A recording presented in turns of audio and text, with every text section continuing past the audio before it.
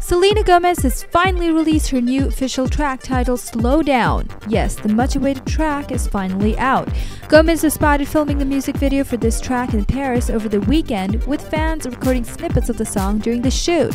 We are sure the fans had a fantastic time and really enjoyed themselves. Slow Down will follow the current success of her new single, Come and Get It, which is climbing the US Hot 100 charts. Yes, you heard it right, the US Hot 100. We sure as hell loved her new track, but are longing to watch the official video. Click on the link above and check out her amazing track.